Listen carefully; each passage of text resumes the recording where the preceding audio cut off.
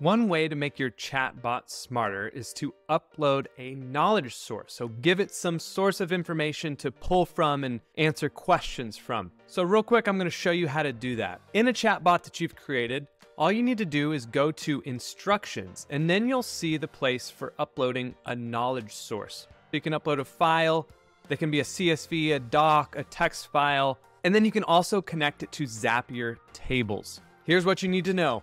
Chatbots looks at rows of data to know that the data is all related to each other. And then in, an unstructured format, it looks at paragraphs. So rows and paragraphs. Depending on what you want to choose, that's how you need to think about them. So if I upload a file, maybe an FAQ document for this chatbot, I click File and then look for that file to upload. The chatbot will look at each of these paragraphs and know that that is related. So you'd have the question, just below it, you're gonna have the answer.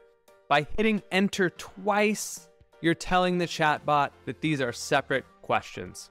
So when I choose that FAQ, it will upload as a knowledge source for this chatbot.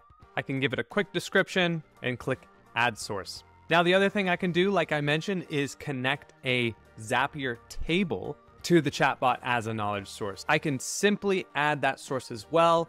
I'll click table, choose the right table, and click add source. Here's what that Zapier table looks like.